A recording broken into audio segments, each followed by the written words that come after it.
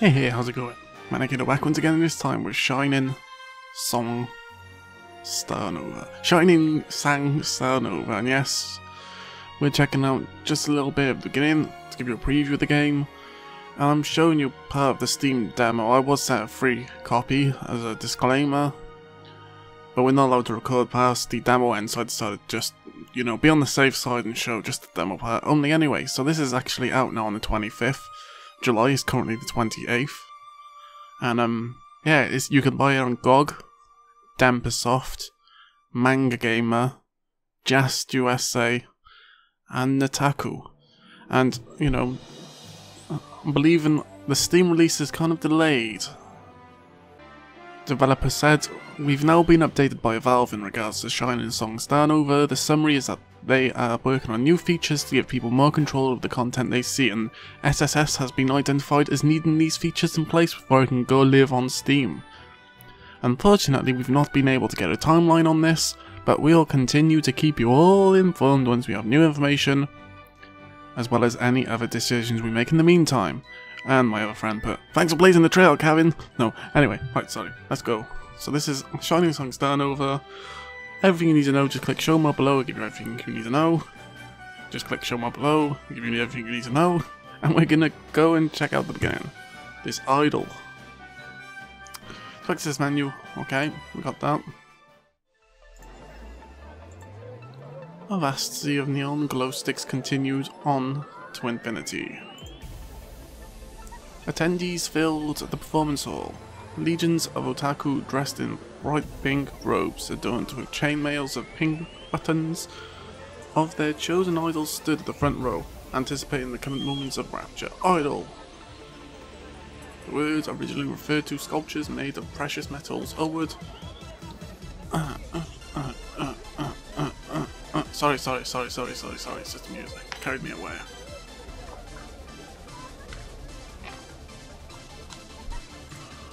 In more recent times, new religion has usurped the old gods. A religion which erected its chapels of decadence in the holy land of Akihabara, and livid Taif eagerly paid by men desperate to believe that a better place existed than their sad ones. The stage lights turned on. Enormous speakers boomed the new gospel as young girls clad in black and navy skirts and tops rang onto the stage. Are you ready? We proudly present the icon of Japanese entertainment. Blacker than the night, the mega unit in the center of the galaxy. All the stars revolve around us. We are Quasar. The crowd roared in a wild frenzy as their goddesses descended from the heavens.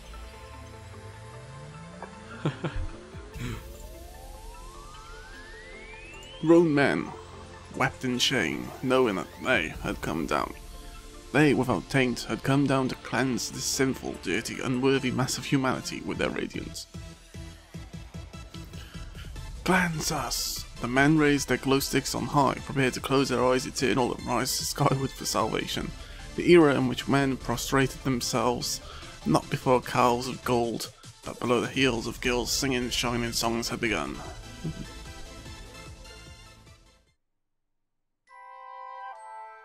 Woman shook her head as Quasar's New Year's Live played on the television set above her. She downed the shot of cold sake. Qua. Woman, a term alien to these kind of stories. In most cases, one was a girl, or at least had the word young prefixed to the word woman. Woman was a poor word for marketability, evoking the sort of plain Jane peach coloured underwear one would find on the discount rack at the supermarket. Maybe one time you accidentally walked into your mum changing and glimpsed his head underwards. In other words, completely unexciting. Girl, on the other hand, turned men's eyeballs with the proper intonation. That single word could fill a man's gut with both excitement and unease. Restlessness and desire. How skittish men turned up that singular word in all of its suggestiveness. Okay. Everywhere the mythos of girl saturate the lives of men. She looked down from billboards on top of buildings, spoke to them through speakers, teased them through letters in a magazine. Heh, used to be a member of Quasar myself, before they sacked me. Shit eaters call me old. They don't know a thing about me. Goddamn hypocrites. Pretend to be all pure and innocent, but I know what they're really like. And it ain't anything like what you see on the TV. She went on drunkenly, mostly to herself. I can still do it. Just watch me, old man. I'm gonna do it. Maria pounded the bar, her head swaying. I'm gonna be an. You're being loud, woman. You had enough, now get back home. I don't know why the barman was a freaking pirate for Arr, me matey. okay, the sliding door slammed shut behind Maria as the barman tossed her out into the winter street. Ah, she bent down and lit a cigarette. Sugar? Is, is that shit he says? Is that just sugar? Sugar? Sugar? Sugar? Okay. She slumped back home, cigarette dangling from her mouth. So we're from 25. Oh god.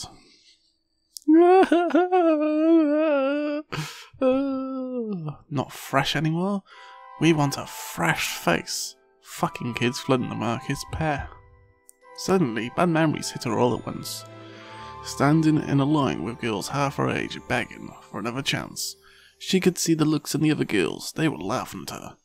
The executives were probably laughing at her too. Everyone must have thought she had gone fucking mad. Her stomach turned with humiliation and rage. So guy wait no that's not that's not Shayus, that's something else. She kicked the telephone pole. Zokenayo. Zokenayo. Fine, go ahead and debut ahead of me, huh? Shit-faced kids who have no clue what's ahead of them. Heh. Sorry, kid, but your dream of becoming Japan's top idol ain't gonna pass. Just wait till you're sucking off your producer every night in chain smoking just to stay afloat. Jesus. Heh. Where's your dreams gonna be then, kid? Maria continued to rant against the imaginary girl she saw at home. However, a bizarre sight interrupted her one woman in a rage against reality. She saw a small figure step above the railing of a nearby bridge. Eh? Hey, is that... Hey. The chilly winter breeze ruffled the girl's hair as she gazed down at the riverbank. she had no idea what she was doing or how she'd gotten there. Sasami.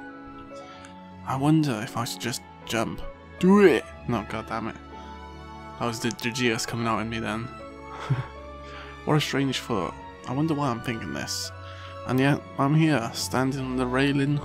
I wonder if this means I should just give up after all. The girl's thoughts were interrupted by Maria's voice. Hey, what are you doing? Maria was close. She could see the girl look like her high schooler. Just why was this kid going to throw away her life? You're, you're still young. There's no way to throw your life away this soon. Eh? The girl spun around to face Maria. Little shit, you got a cute face too, and she's gonna give it up. Get down here now. No, I. The girl's eyes widened as she shook her hands in a panic. There's no need. Eh? Maria leapt forward just as the girl lost her balance on the icing railing and fell backwards. Back then, I might have been a girl who believed in fate, but after a certain point I decided that life doesn't follow such a fairy tale format.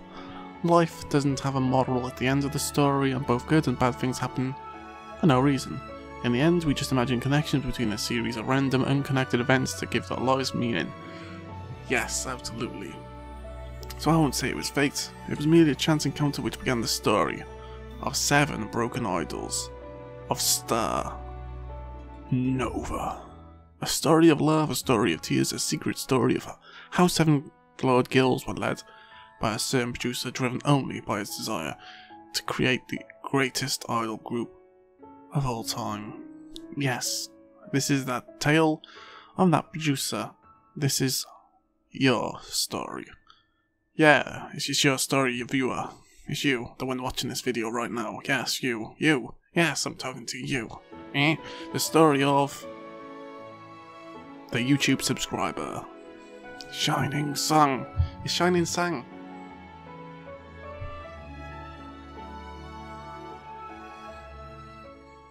Chapter 1 Death is only a star's rebirth. Eh.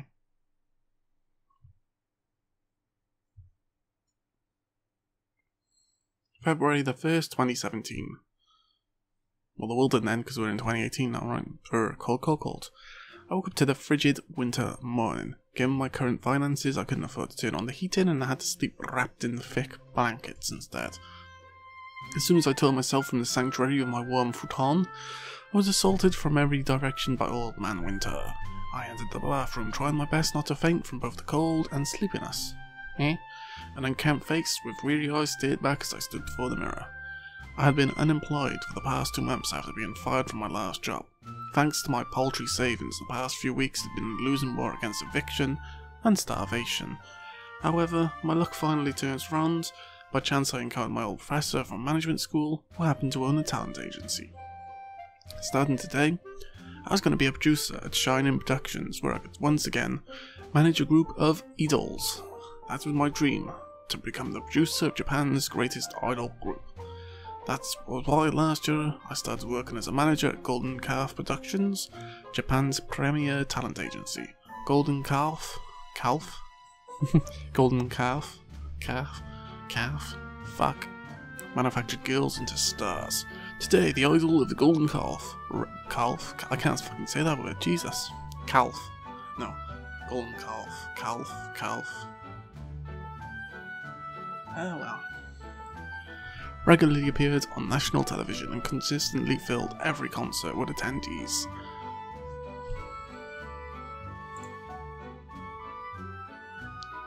Mm-hmm. Not only that, but Golden Calf is a, as well as the Japanese government, you could call it Japan's number one idol corporation. I thought I was finally a step closer to realizing my dream when I was hired by Golden Calf. Calf? Golden Calf.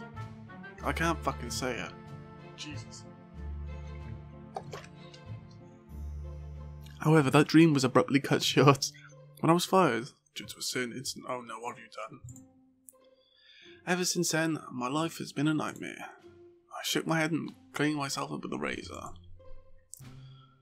But now that nightmare was going to end, I was going to grasp this second chance and become an idol juicer once more. Gathering my energy, I shook myself awake and left my apartment. Shibuya! No, I'm just kidding. After a bit of a walk, I arrived at the Shining production office. I couldn't help but be somewhat taken aback by the crumbling tenement. Frankly, the apartment was largely a dump, with cracking concrete walls and faded windows, half of which were covered up with plywood. Which one is that in the background? They all look pretty nice, just saying. For a while, I was left wondering if I was even at the right location. However, upon closer inspection, a row of faded and peeling stickers spelled out Shining Productions on the second floor window. I swallowed my apprehension and went upstairs, only to be greeted with a cramped office. Hello? I looked around for everyone else. A tiny girl who looked about 14 years poked her head out from the room. Eh? What do you want? Is this Shining Productions? I'm the new producer. Guck guck. Pro?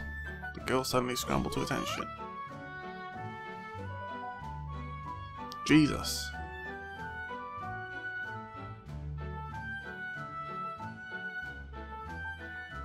The hell was this sudden 180 personality shift? Oh, I see.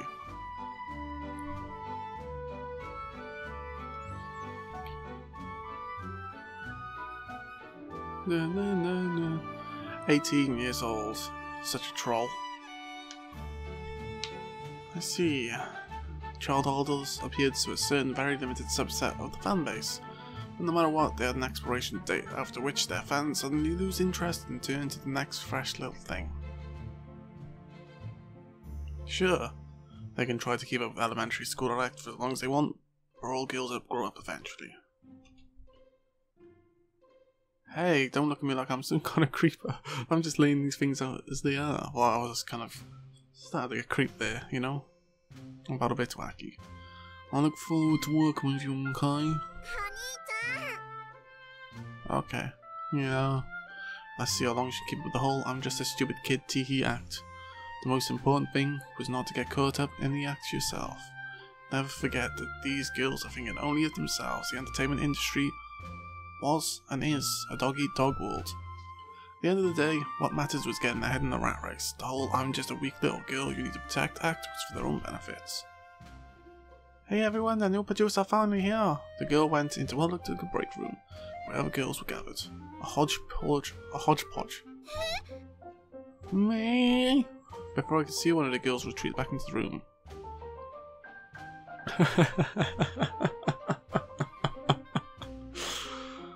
oh, jeez. She's supposed to be the alpha of this pack. Oh my nah! She stunk of tobacco and booze. She swaggered side to side as if she was drunk. In fact, given her stench, I wouldn't be surprised at all if she was actually was drunk. I don't care if you're some kind of big shot who used to work Golden Calf. Listen here, little man, I ain't letting you have your way with these girls. I know the way you men think. We're all just walking cash cows to you, to exploit and to use so you can just go swim in your pool of cash. I want you, little man. Don't think your words gonna sway us. And here you have the textbook example of a burned out idol entering the latter half of her twenties. Basically, this is where the end of the line was. Even the best idols eventually lose their youth, and that's when the fans start turning away. Shit. I hope this is not true at any levels, and you know myself. Fuck. Body suddenly can't pull off all those dance moves she used to do so well as a teenager. Parts start getting wrinkly and saggy. Oh, hell no. I can assure you I can still dance. Real good. Fucking can't, I'll have a heart attack. No. and so, at their wits' end, they crash down the slope of recreation, drugs, and booze. Maria, you gotta see ya. Shut up, you were there drinking with me till last night.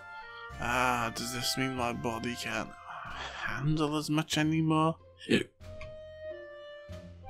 The blonde girl pushed Maria back into the break room and then returned. Watanabe, Julie, my mum is Japanese while my dad is American in case you're wondering about the hair. I'm counting on you, producer. Ah, a Hafu.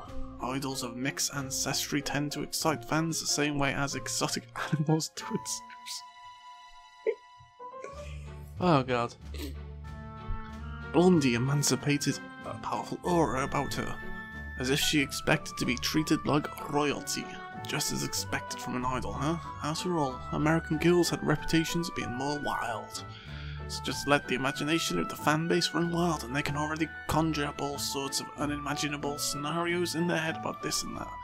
Sometimes guys get tired of jerk. Whoa, whoa, whoa, whoa, whoa, whoa, whoa, whoa, whoa, whoa. Okay. Okay. Time out. Time out. Time out. Y'all are fucking creeps, man. you pervert guys. No, just kidding. Right, anyway. Hey, like I said, I'm just laying it out as it is. I'm just doing my job here. I'm not here to make friends out of my co-workers, I'm just here to make them commercially successful. Natsuki! Yahoo, nice to meet you, Pikun. Tanabe Natsuki, but everyone calls me Natan. Nathan! Country girl from Kansai turned Tokyo Idol, how you do? Country girl from Kansai was right. So yeah, obviously this is just kind of meeting the meeting all the girls, you know.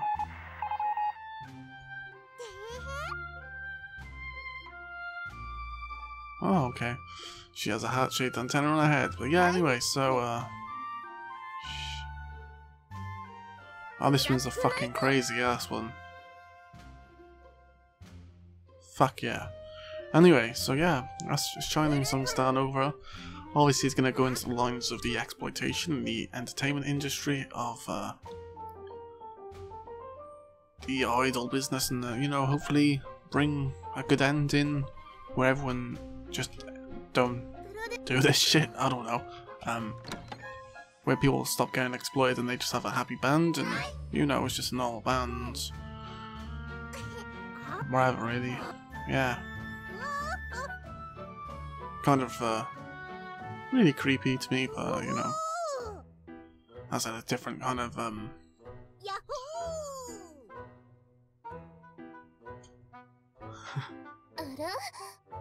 Whoa, okay, okay, we're, we're stopping right now. We're stopping right freaking now. Yeah, obviously it's different culture and all that kind of shit, so yeah. That's Shining Song Starnova. We're gonna quick save. And it's out on GOG, Denpasoft, Manga Gamer, Jast, and Nutaku. And will shortly be coming out on Steam once Valve gets through that whole kind of thing they're trying to do of apparently moderating their stir, although really, really, they try hard over shit like this, but then every day there's asset flips on this, so I don't know, I don't know what's going on there.